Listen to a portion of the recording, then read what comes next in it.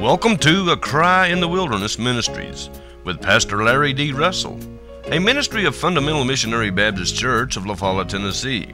Service times will be given at the close of today's telecast.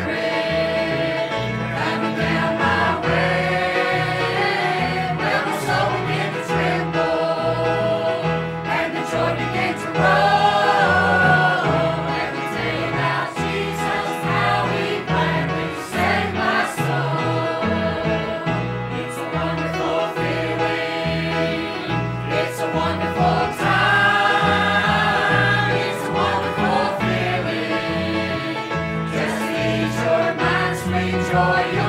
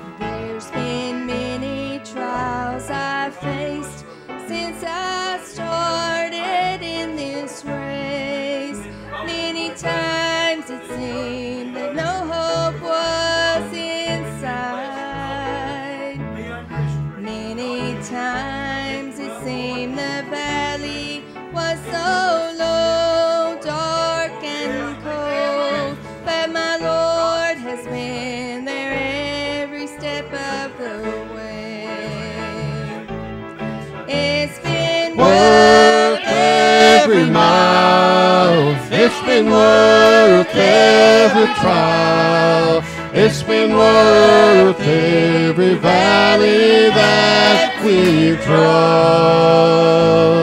It's been worth everything that we faced in His dear name, and it'll be worth it all when we see His face.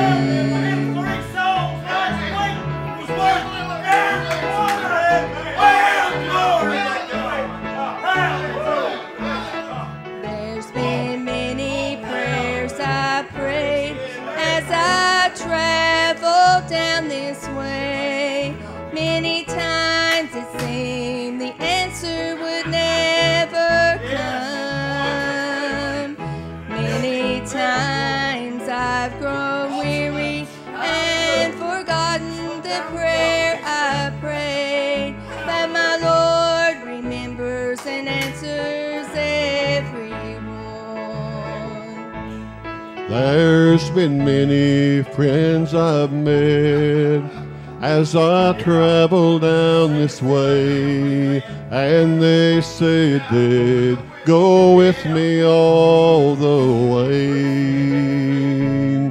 But I turned and they are gone, leaving me standing all alone. But my Lord has been my friend all the way. Worth every mile, it's been worth every trial. It's been worth every valley that we've run.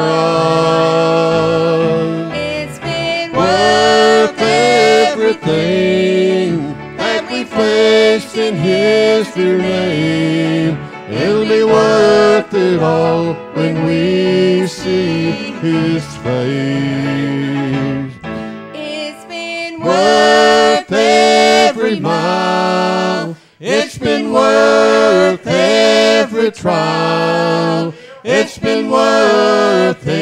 every valley that we cross.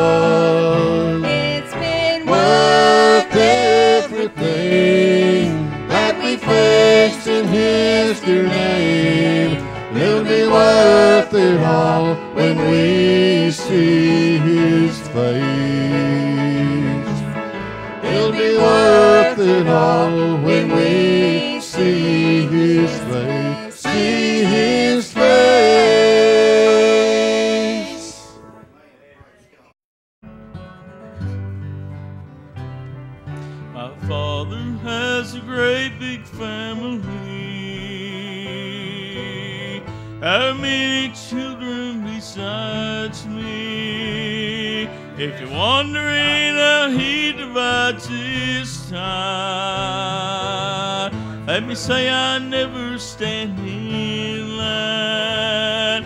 He loves me like I was his only child. Never felt so loved before. I could never ask for more. He loves me like I was his only child. God really loves me.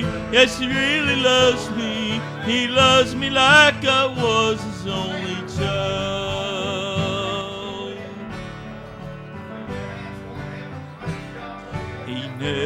favors me above the rest. And I can't help but feel that I am blessed. He treats me best, I often say. But all my father's children feel that way. He loves me like I was his only child. Never felt so loved before. I can never ask for more. He loves me like I was his only child. God really loves me. Yes, really loves me. He loves me like I was his only child. Yes, He really loves me. He really loves me. He loves me like I was his only child.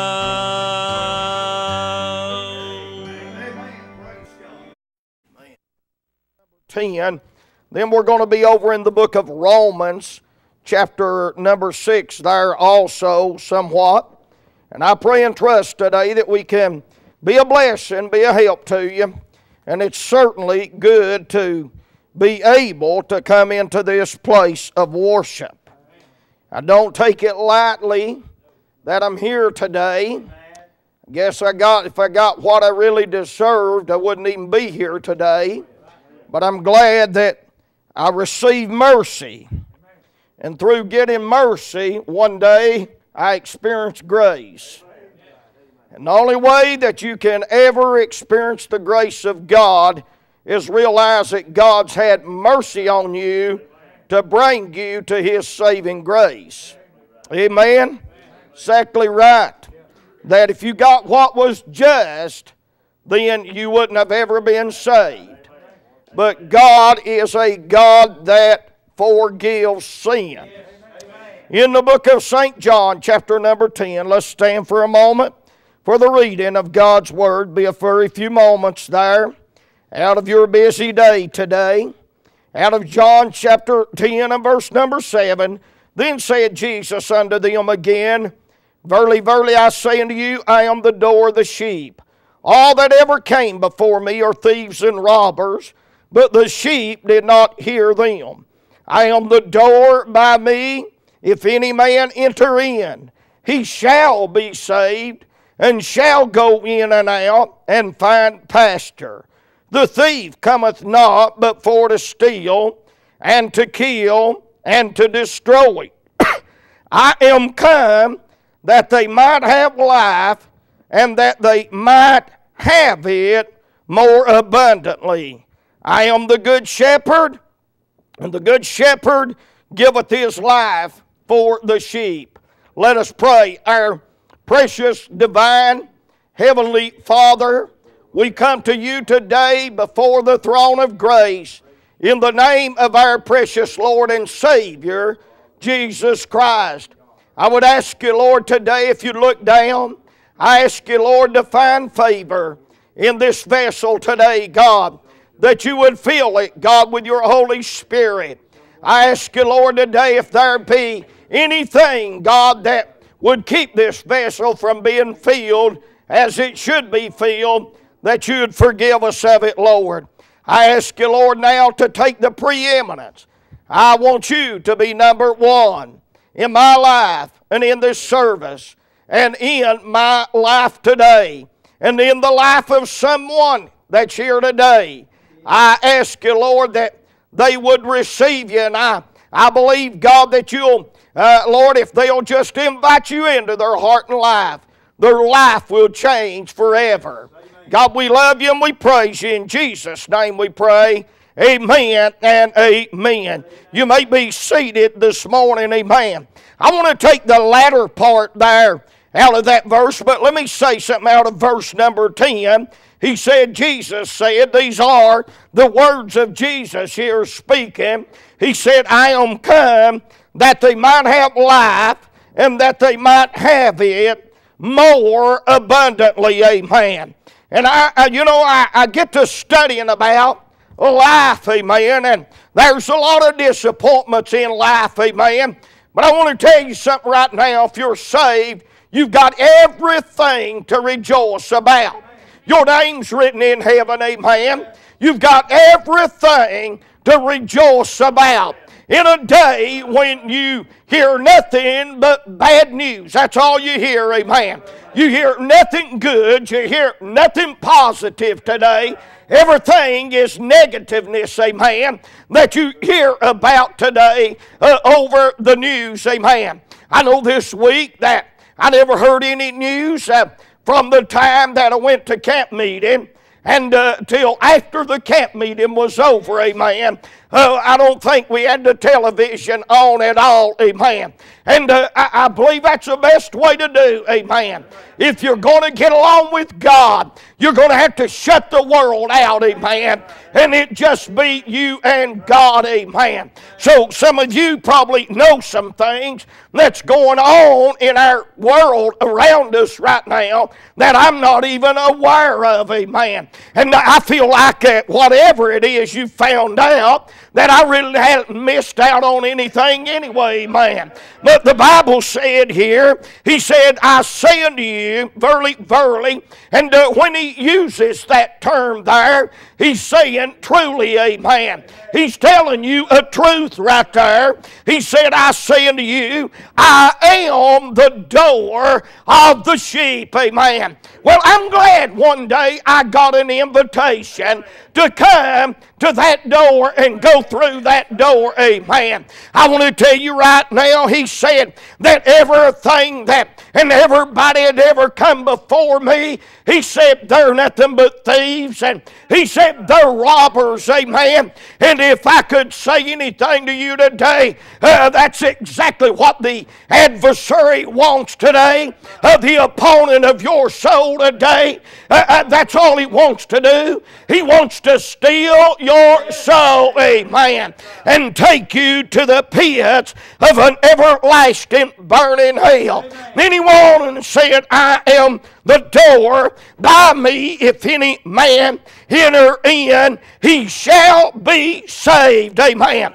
Now, I want to tell you right now, uh, uh, the Baptist church is not the door. Uh, the Pentecostal, the Church of God by denomination, and, and uh, this church and that church that you see visibly around you is not a door for your entrance of salvation. Amen. But it takes the saving grace of God to bring you to that door of salvation. I'm reminded that the Lord told the church of Laodicea before he closed out that dispensation right there, and he said, He said, Behold, I stand at the door and knock. He said, If any man hear my voice.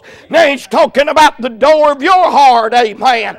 Talking about the door of your heart, amen. And he said, I stand at the door and knock. But if any man hear my voice and open the door, he said, I will come into him and will sup with him and he with me. Amen. I want you to know something right now. Your entrance into God's celestial city is through the Son of God. Amen.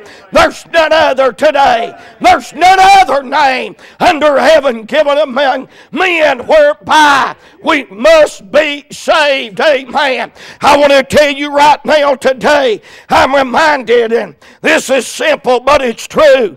Thank God, and, and that's what we're missing out. We're sinners, sinners are not realizing uh, what you and I realize. We think, well, it's simple. Everybody ought to be able to understand it. Well, if everybody ought to be able to understand it, why didn't we understand it sooner than what we did? Amen. Could I say this today? I want to tell you right now to a sinner person to get into God's uh, uh, into God's eternal life. I want to tell you, it looks like the hardest thing that you could ever do. Amen. But I want to tell you right now, it wasn't you that come to Christ. It was Christ that come to you. Amen.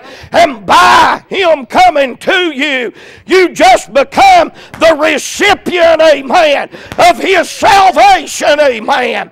And then once He comes to you, then you turn to Him. Am I right? That's right, amen. But He's come to you, and it's left up to you to turn to Him.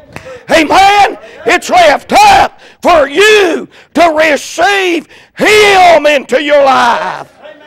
Amen. Now, let me say this today the Lord wants you to be saved. John 1 and verse 11. He came unto his own, and his own received him not. Now listen to this. But as many as received it. Now I want you to notice something. He came. He came unto his own. I heard uh, one of our preaching brethren preaching this morning and brought that verse in, if I'm not mistaken. And he said he came unto his own world.